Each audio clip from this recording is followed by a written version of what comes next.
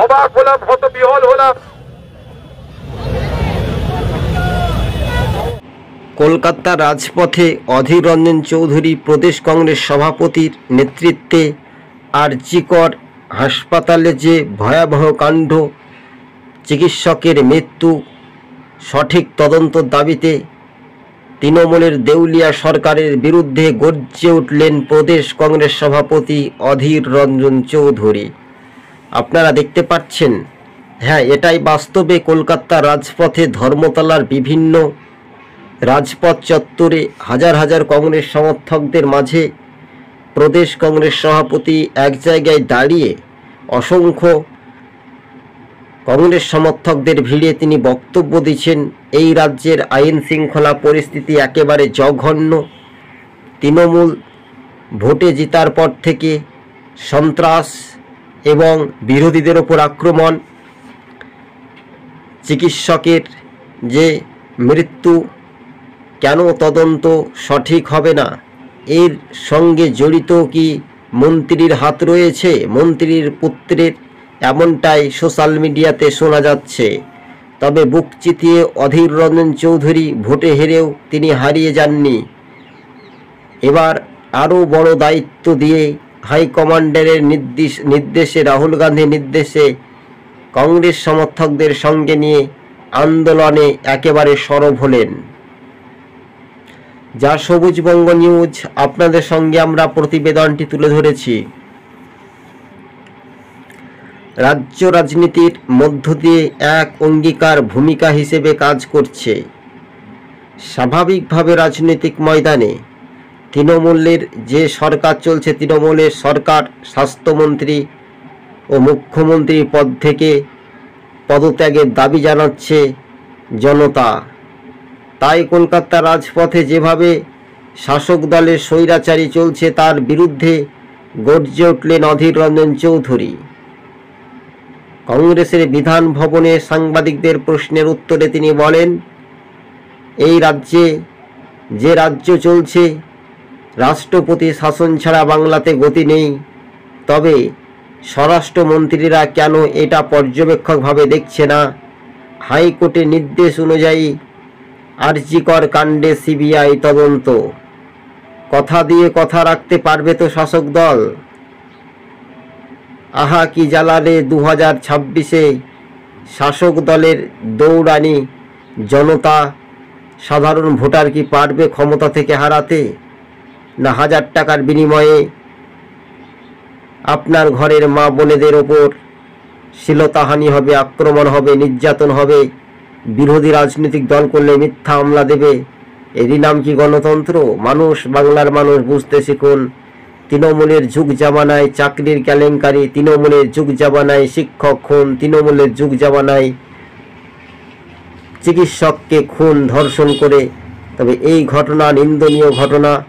অধীর রঞ্জন চৌধুরী বলেন, যতদূর পর্যন্ত দৌড়াতে হবে, দৌড়িয়ে প্রতিবাদ করব, সামিল হবে কংগ্রেস সমর্থক সহ। দলমত নির্বিশেষে সাধারণ মানুষও কংগ্রেসের মিছিলে উপস্থিত হয়েছে। তবে রাজনৈতিক মহলে ভূমিকা নিয়েও কিন্তু ক্ষুব্ধ হয়েছিল। দেখতে পাচ্ছেন যে প্রদেশ কংগ্রেস সভাপতি অধীর রঞ্জন চৌধুরীর যে গর্জমান প্রতিবাদ, সেখান থেকে আমরা কিন্তু প্রতিবেদনটি প্রতিবেদনটি তুলে ধরেছি। আর রাজনৈতিক ভূমিকা হিসেবে আগামী দিনে যে পথ চলা শুরু, সেটা কতটা উজ্জীবিত হবে আর এই নিয়ে রাজনৈতিক সমীকরণ কি হতে পারে দর্শক বন্ধুগণ? আর এই নিয়ে তো সমীকরণটা উঠে আসতে পারে সোশ্যাল মিডিয়ায়, তাই না? বিষয়বস্তুগুলো ভালো করে মনোযোগ দিয়ে শুনে রাখবেন। অধীর রঞ্জন চৌধুরী, তিনি প্রদেশ কংগ্রেস সভাপতি, বুক চিতিয়ে লড়াইয়ের ডাক আরজিকর হাসপাতালে দোষীদের গ্রেপ্তারের দাবিতে আসল খুনিকে ফাঁসি চাই, এই অবিলম্বে মুখ্যমন্ত্রী তো আগেই বলেছিলেন। অধীর চৌধুরী প্রদেশ কংগ্রেস সভাপতি তাই স্পষ্ট করে তীব্র খোঁচা দিয়ে মুখ্যমন্ত্রীকে বলেন, আগে বিধানসভায় বিল পাশ করুন, তারপরে তো ফাঁসি দেওয়া হবে। চোর যদি চুরি করে, তারপর জেল থেকে এক মাসের মধ্যে, দশ দিনের মধ্যে লুকিয়ে থাকে, তারপরে বলে আমি বেরিয়ে চলে এসেছি, তৃণমূল করলে সাত খুন মাপ। কিন্তু রাজনৈতিক মহলে ব্যাপক উদ্দীপনায় কলকাতার ধর্মতলা রাজ চত্বরে দেখা যাচ্ছে যে বিরোধী রাজনৈতিক দল বা দলমত নির্বিশেষে প্রদেশ কংগ্রেস সভাপতির নেতৃত্বে অধীর চৌধুরী নিজে পায়ে হেঁটে প্রতিবাদে সামিল হন আর আরজিকর হাসপাতালে যে কাণ্ডগুলি ঘটেছে। এক একজন নয়, দশ বারোটা যুবক, সেটা কিন্তু শাসকের মদত্ব রয়েছে বা শাসকের আতাত রয়েছে, হাত রয়েছে। এমনটাই খবরের ইঙ্গিত আপনাদেরকে জানাচ্ছি, এমনটাই সূত্র মারফত জানানো যাচ্ছে। তবে মন্ত্রীর ছেলে যদি হাত থাকে বা সেই যোগ থাকে, তাহলে তো সিভিক ভলেন্টিয়ার সব কবলিয়ে দিতে বাধ্য হবে। কেননা যে আসল অপরাধী তাকেও গ্রেপ্তার, যে সহযোগিতা করেছিল তাকেও গ্রেপ্তার। কিন্তু গ্রেপ্তার হয়ে কি হবে? যে মায়ের কোল খালি হয়ে গেল যে বোনটার, তিনি তো পৃথিবী থেকে চলে গেল, আর সে কি ফিরে আসবে? আর সে তো আর ফিরে আসবে না।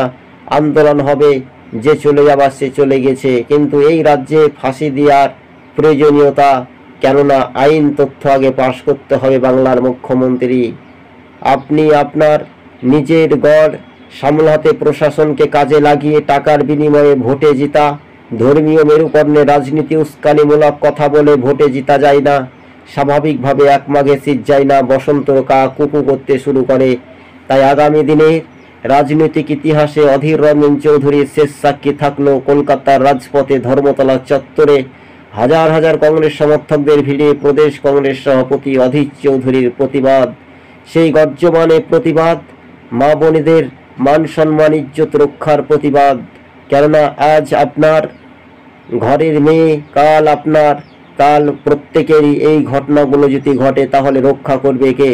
যে চিকিৎসক আপনারা পরিষেবা পাবেন সেই চিকিৎসককে আরজি কর থেকে কীভাবে গণধর্ষণ, তারপরে খুন আর এই ঘটনায় সঠিক তদন্ত দাবিতে প্রদেশ কংগ্রেস সভাপতি অধীর চৌধুরীর নির্দেশে নেতৃত্বে বিশাল র্যালি প্রতিবাদ মিছিলে সামিল।